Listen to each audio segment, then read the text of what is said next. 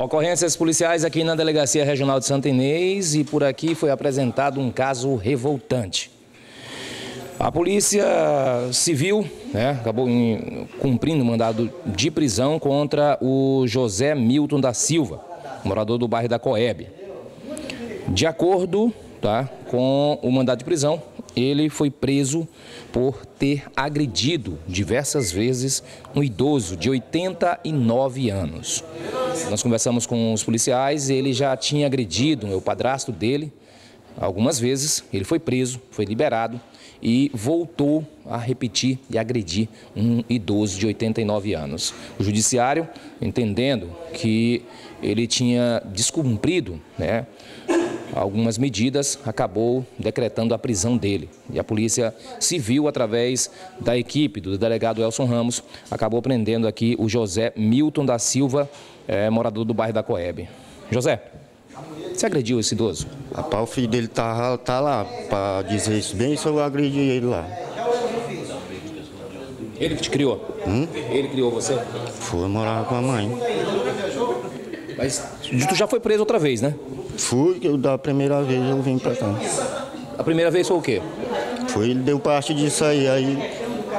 Sobre isso aí. Mas na primeira vez você agrediu ele? Não. Você nunca tocou a mão nele? Ne- Nem sabia, nunca trisquei a mão nele lá. Tá lá o filho dele lá pra dizer isso bem aí. Basta ir lá e perguntar lá. Quer dizer que você se diz que não fez nada. Não. Tá lá o filho dele lá pra. Pode ir lá perguntar lá e perguntar pro filho dele lá. Por que, que ele está dizendo para o judiciário que você acabou agredindo ele novamente? Pois é, Ele tem alguma coisa contra você? não sei. Ele não te criou? Não sei não. Você está arrependido de ter tocado a mão nele? Rapaz, eu não, não tri, toquei a mão nele não, senhor.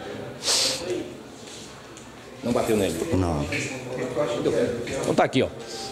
José Milton da Silva, do bairro da Coeb.